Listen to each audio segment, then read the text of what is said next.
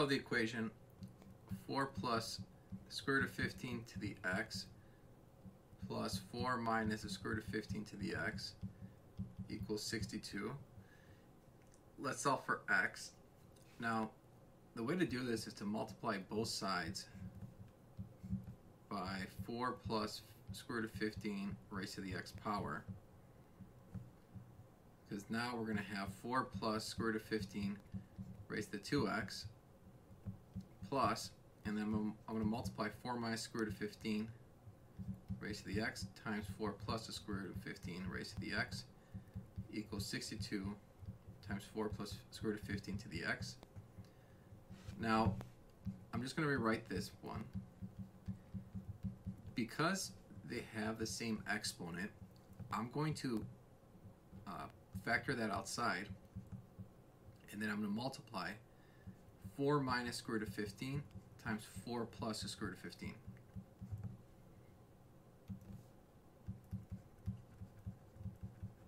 So that's going to simplify.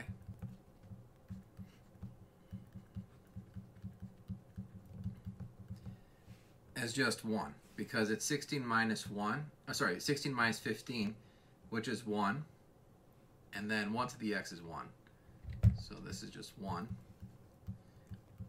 And now I'm going to replace u with 4 plus the square root of 15 raised to the x.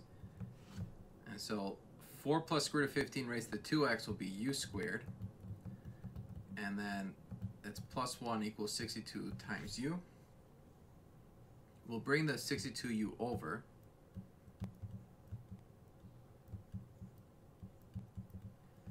And from here, we're going to solve it using uh, quadratic formula.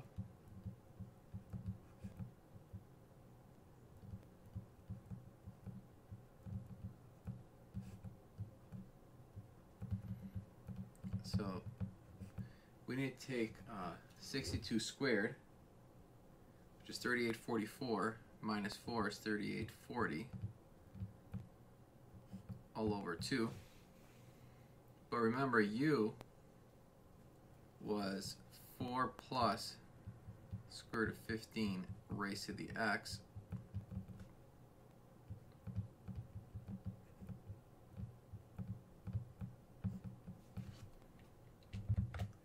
So now, continuing this,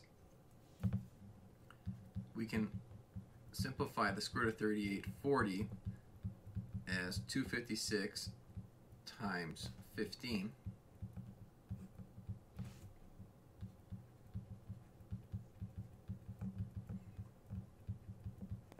And then square root of 256 is 16. And then we'll leave the square root of 15 inside. We can divide the 62 by 2 and the 16 by 2. So this will be 31 plus or minus 8 root 15. And so to solve for x, we're going to take the log of both sides. Exponent comes out in front.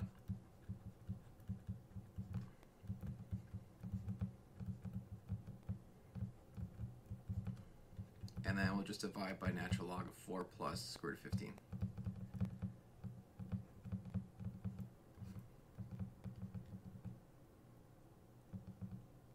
So the, these are the two answers, which can be simplified to uh, 2 and negative 2.